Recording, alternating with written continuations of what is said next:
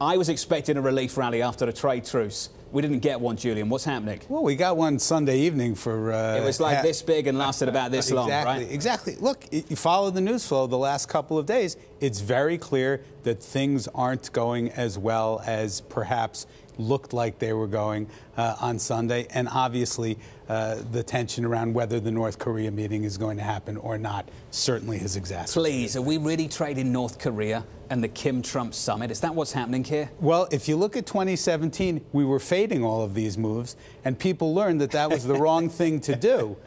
Political risk matters. It matters in, in the medium term, and you know when the risk reward of these potential outcomes are as high as they are, you know, we do have to listen. Mike Schumacher, I, I, tweeted out the wall of worry and the things on it. I came up with like nine. Q1 earnings as good as it gets. Treasury yields near multi-year highs. Crude near multi-year highs. The J put, nothing like the Janet put. Eurozone growth disappointing. Italian bonds getting battered. the dollar erasing 2018 losses.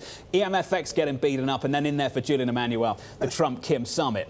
Why are we all worried about these things now? I just want to get under my desk at this point. It's terrible. no, look, I mean, you've got a lot of things coming together, I think, Jonathan, and that's the issue. And I think on top of this, and really you alluded to this with the J put, the central banks have been at people's back for a long time. Yeah. They're really not. And I think that's another big change. But when you think about the calendar for the next few weeks, it is pretty scary.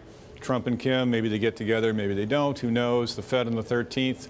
And of course, the all important World Cup starts on the 14th. Might be a big day for you, I'm not sure. But a lot of things. That's the day that actually matters, Mike. There you go. Right. it was the opening match anyway. Yeah. So there you go. I mean, Julian, they might be things to worry about. Are they reasons to de-risk?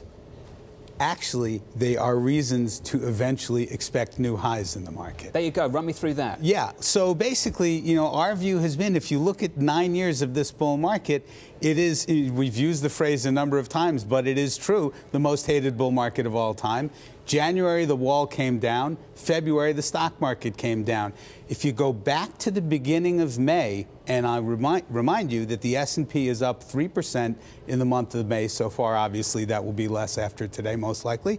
Uh, small caps are up 6%. You go back to the beginning of May, and people were absolutely apocalyptic, thinking that we were going to make new lows. Yep. F flash forward to a few days ago, sentiment was almost ebullient because we were going to settle North Korea, we were going to settle China. And now, in 48 hours, we've swung back the other way. And the fact is, when the wall is sufficiently rebuilt, that's when markets rally.